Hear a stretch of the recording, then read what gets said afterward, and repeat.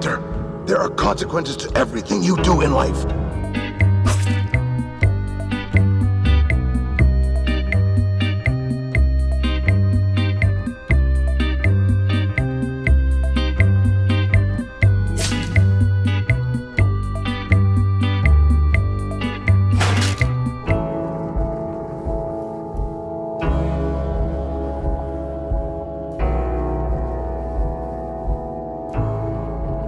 Hello, Dexter Morgan.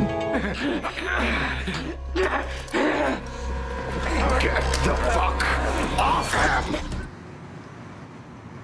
He gave me a code. Talk about your bloodbath.